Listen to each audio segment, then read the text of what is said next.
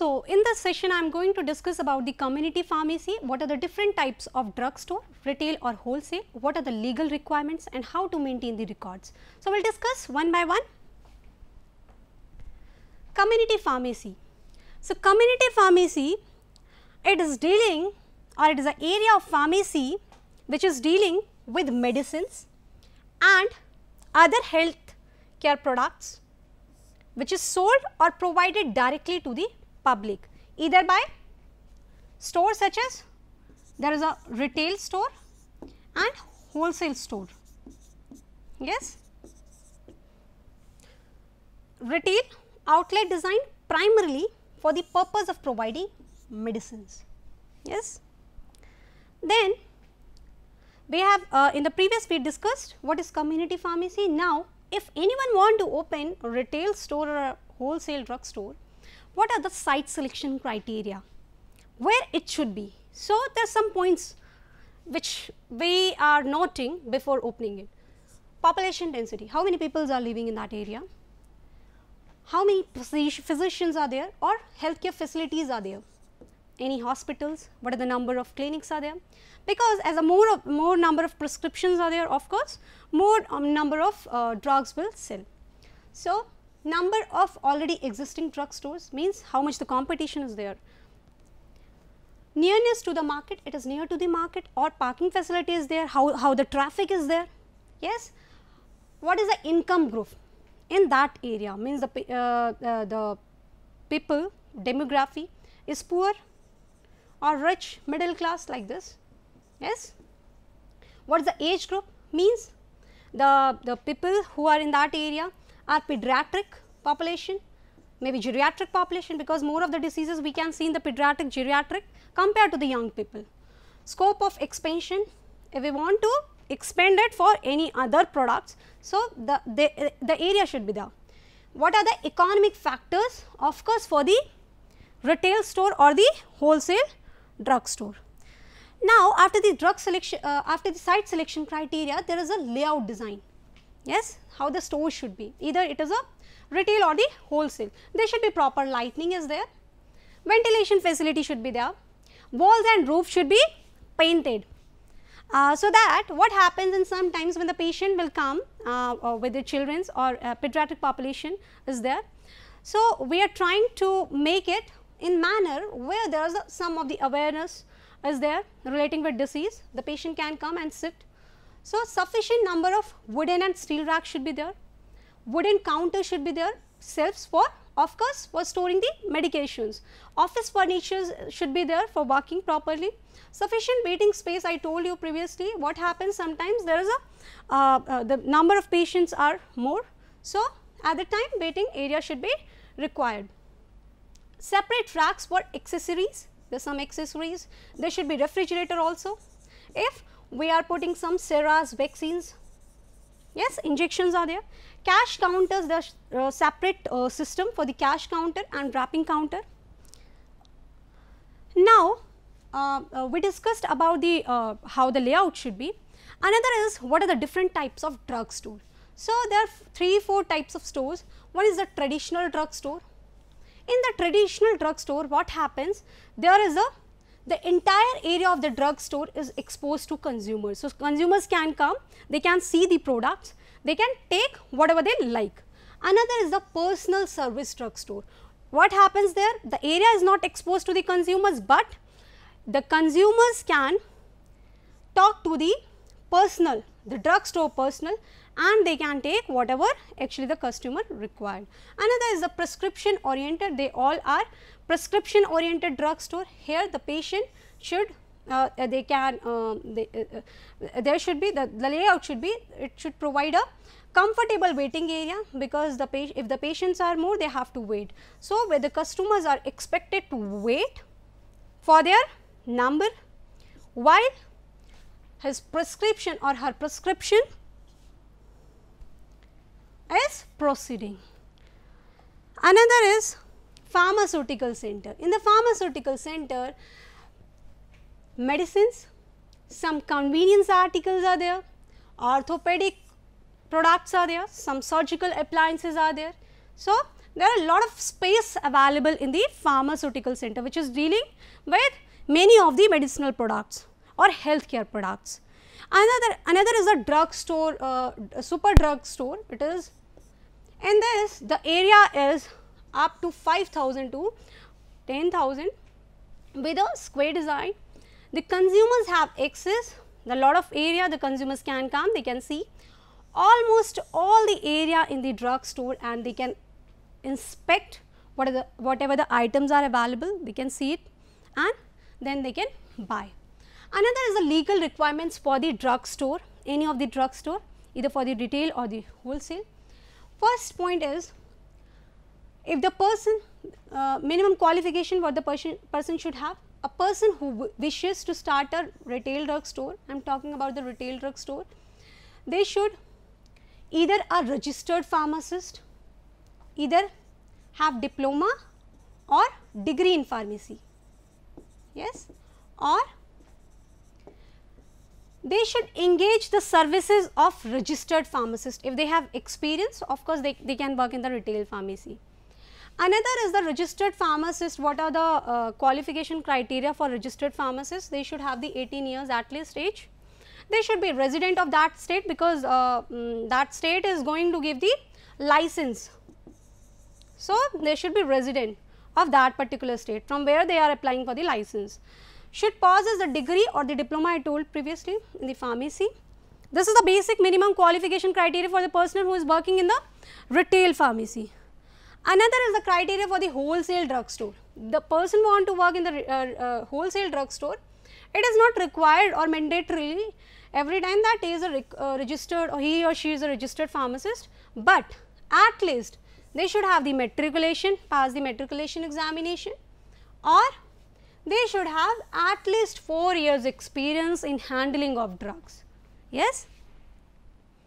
So, we have discussed what is the difference between the minimum qualification uh, in the retail as well as for the wholesale. Another is the licensing criteria. If anyone want to open the retail drug store or the wholesale store, of course, they should have the license and the license is as per the schedule of the drugs they are working means so for granting the sale licenses drug there are three conditions drug uh, specified in schedule C and C1 means these are the drugs which we call it as biological products. So, all the biological products come under the schedule C and C1 and they should be properly given. So, every record should be maintained if we are working with the schedule C and C1. So, these products could be vaccines, seras, immunologicals, yes, are according to the DNC Act 1940. Another is drugs specified in Schedule X. In Schedule X, what are the drugs? These are the drugs which are given only on the prescription basis and we call it, uh, call it as psychotropic, the drugs, psychotropic and narcotic and psychotropic substances, yes they are under this schedule X. Another is license for the drugs other than those specified in schedule C, C1 and X. So, these type of categories under which the license is given for the uh, for uh, granting sale license yes.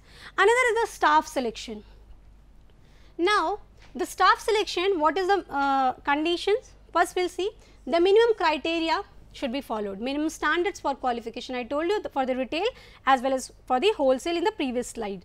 Another is point number 2 what we uh, note over hiring means superior people should not be hired for inferior jobs otherwise it will adversely affect the system of the retail or the wholesale. So, this type of selection may result adverse effect on staff moral efficiency. So, give that job which is appropriate to that particular qualification and that particular post. For the proper selection of staff for a specific job, the manager should develop a job description. This is a very common point. Before any of the uh, filling any of the jobs there should be a job description advertisement in which everything is written. What is the minimum qualification, how many numbers, how, how many posts are there, yes and what is the time of the interview? Everything like this. So, job description and job specification should be there for each of the position in pharmacy. Then there should be promotion of course for maintaining the morals and efficiency in the staff. Another is a dispensing of proprietary products. Now, proprietary products means what are the branded products, what are the manufactured products which uh, uh, the name which is given by the any of the manufacturing company. So, how to dispense that proprietary products? Dispensing of proprietary products required to be done either by the registered pharmacist because they are working in the retail as well as for the wholesale and under the direct supervision. This is very important point because we are dealing with a drug, so they should be all under the direct supervision of the registered pharmacist. There are some points which pharmacists will note uh, while dispensing the drug. Yes. First, pharmacist will see the prescription, means the receiving the prescription. Pharmacist will read it. Why they will read it? Of course, to reduce any of the interactions, any of the side effect drug interactions are there adverse drug reactions? If the patient had any query, of course, the patient can ask. Checking the prescription, then after checking the prescription, pharmacist will dispense, will pack it.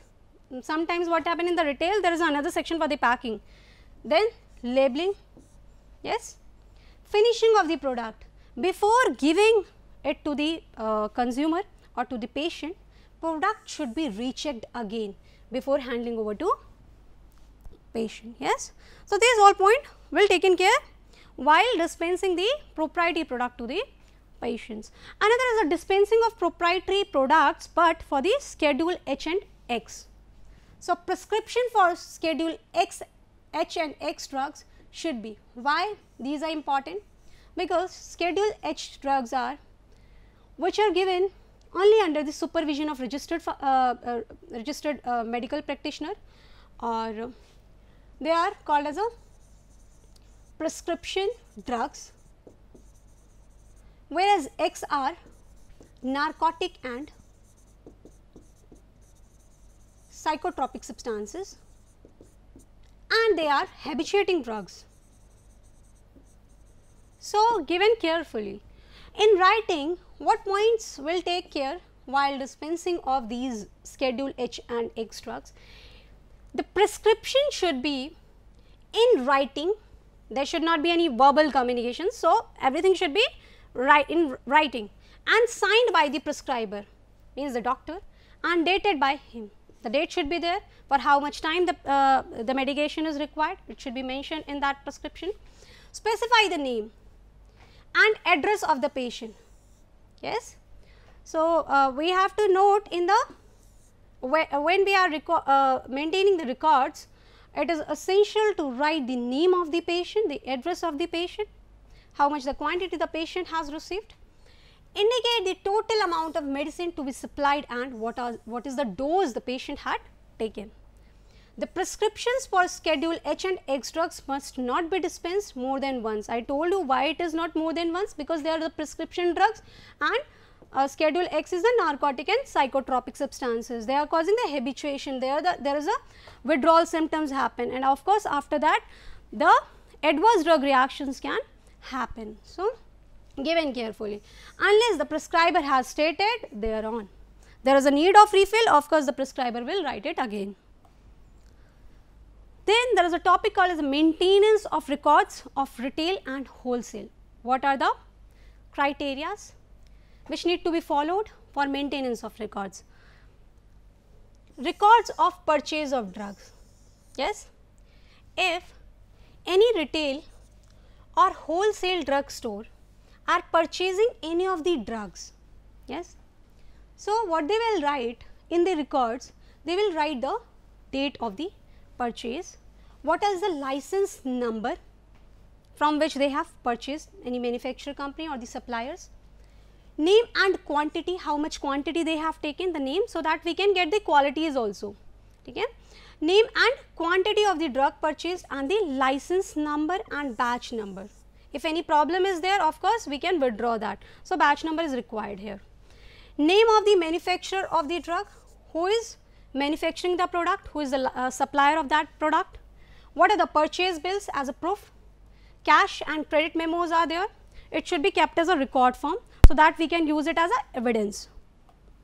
Another is the sale of drugs. First we discussed about what is the purchasing system for the retail and the wholesale. What are the points we will record. In the another we will see how to sell the drugs and therefore the different uh, schedule uh, in the different schedules the points are little bit different.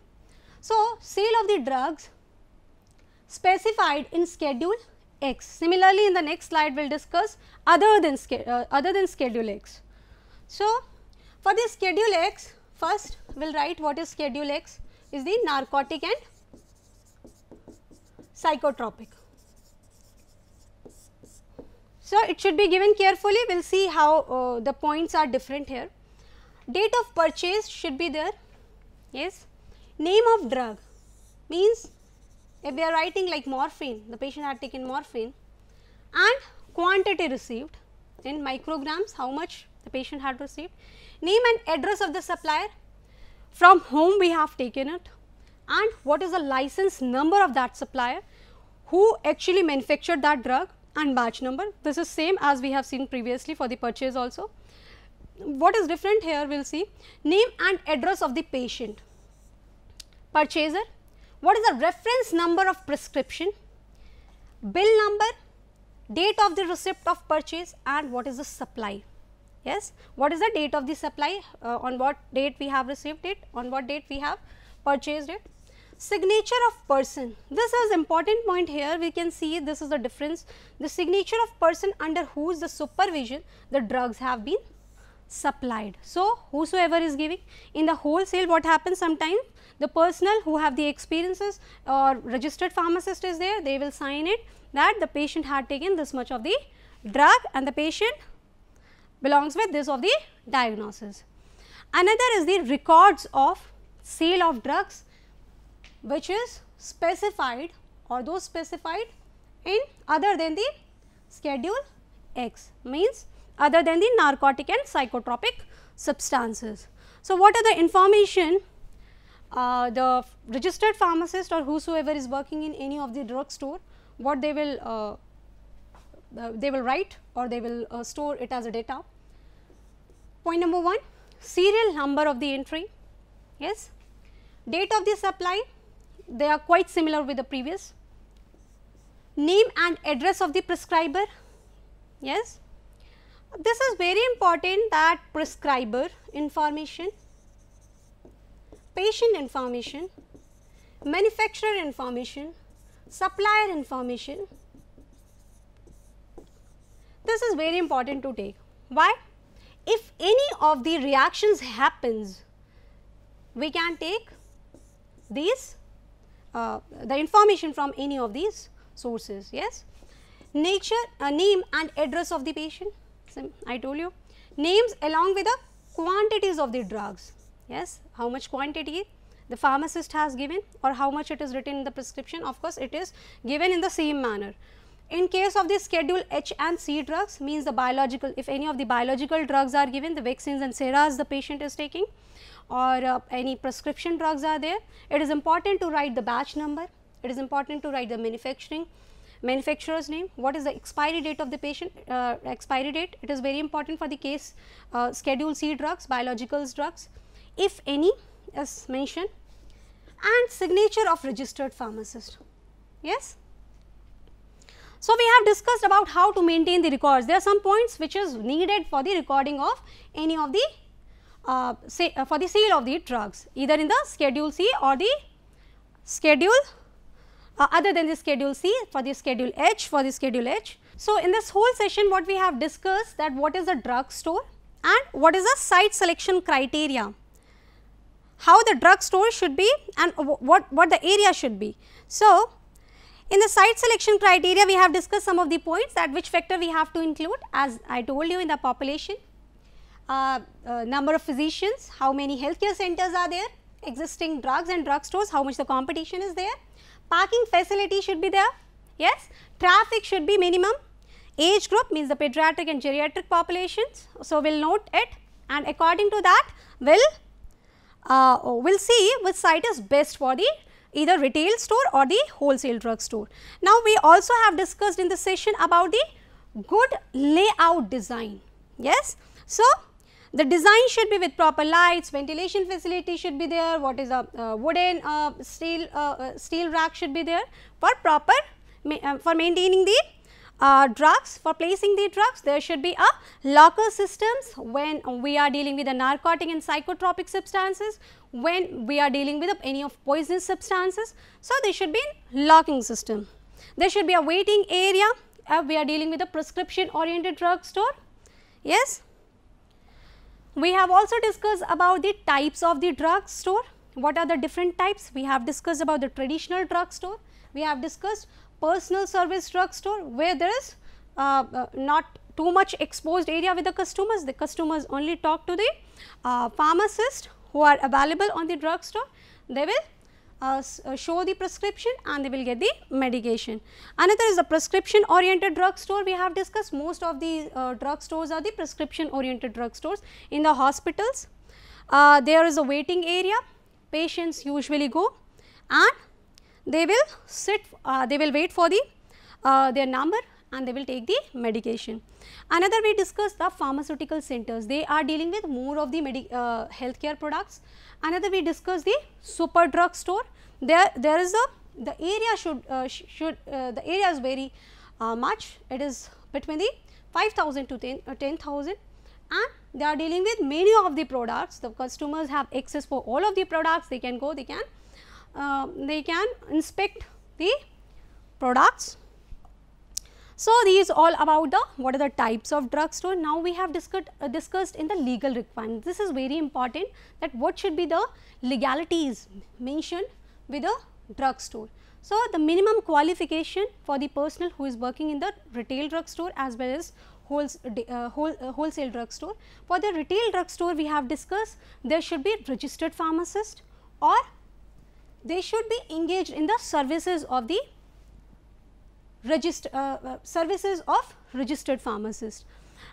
The qualification, the minimum qualification of uh, for the registered pharmacist are they should at least 18 years of age, they should be a resident of the state as I told you previously in the session that the state pharmacy council is giving the license, so they should have residency for that state. They should have either the diploma after the uh, 12th or they should have degree, yes in pharmacy for opening any of the drugstore.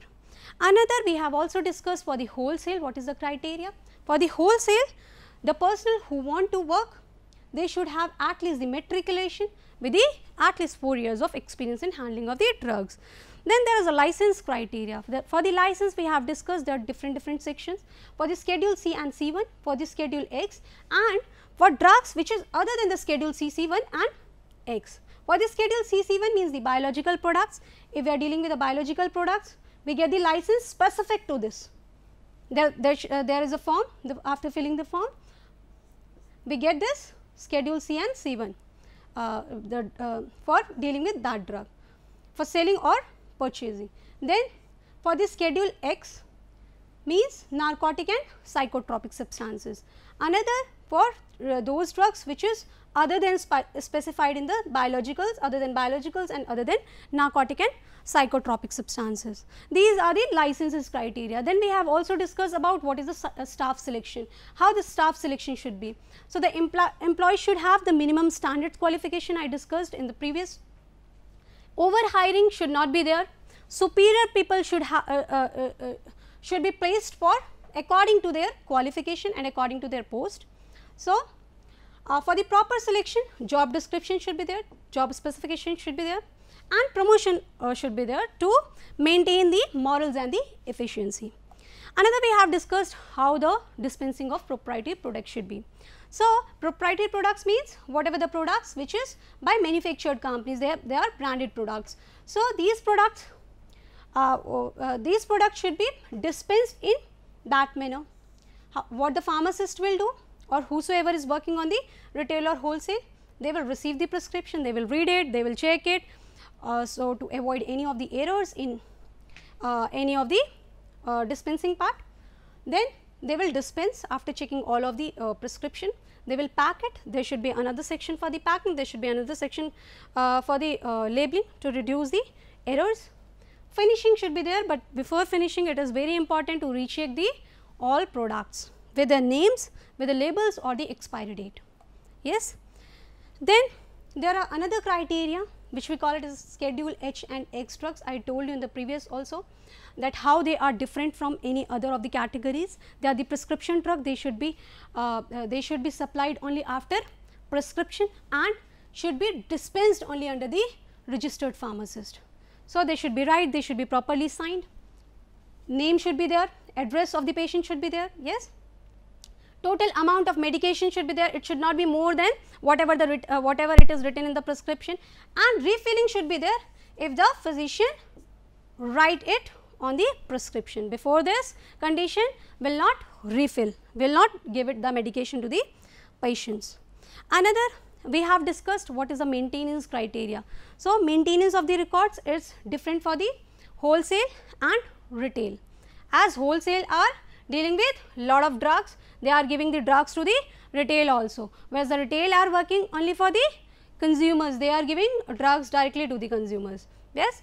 So for the records of the purchase of drugs we can see date of the purchase should be there name and address of the licensee from which the uh, retailers are taking the medication. They will write what is the license number who is manufacturing that product what is the name and the quantity of the product and purchase bills for the reference either it is cash or it is given for the cash uh, credit memos because sometimes what happens the credit facility is different for retail and wholesale. So, credit memo should be therefore as a evidence should be kept as records. Another is we have discussed sale of drugs which is specified in schedule X. Similarly, the drugs which is uh, specified in other than in schedule X. In schedule X the sale of the drugs if we are selling any of the drugs under the narcotic and psychotropic substances what is most important criteria we are taking is the signature of person under which supervision of the drugs have been supplied. So, this is very important narcotic and psychotropic substances are causing the habituation to the patients and they, uh, uh, they uh, if the patient is taking in a continuous manner what happens the treatment requires a rehabilitation which is very difficult to do. So, it is very important that it should not be given in excess uh, it should be given in whatever the quantity is written in the prescription and the, uh, for that we are maintaining the proper record. Date of purchase, what is the name of the drug, what quantity patient has received, who is the supplier, who is manufacturing that particular drug, what is the batch number, it is very important. License number, yes, who is the patient, who is the purchaser? Sometimes what happens that any of the another consumer is taking just as in a case of the wholesale uh, drug store what happens if the any retail store is taking the products from the wholesale drug store? We call it as a purchaser. So any purchaser it is taking so name and address of it. What is the reference value of the prescription? It is written on the prescription. So we'll write it the reference number so that we can we can get if we have maintained the data in the computerized system we'll get this is the reference number with this patient the patient had taken in the previous on on this previous date. So on that basis we can get the data of the pre, uh, uh, previous patients from these all records by seeing the reference number. Bill number is there signature is there signature is very important here i told you similarly i have also discussed about the schedule the drugs which are other than Schedule X. The recording of the sale of drugs in other than Schedule X, the criteria is quite similar with the previous one. Yes, uh, there is uh, there is one point which we taken care. One is the information about the prescriber, information about the patient, information about the manufacturer or information about the supplier, batch number and the sign of the sign of the person who is giving the medication. Yes, I hope you all got everything about the community pharmacy, the drug store, what are the types and how to maintain the records, legal requirements. Uh, thank you so much everyone.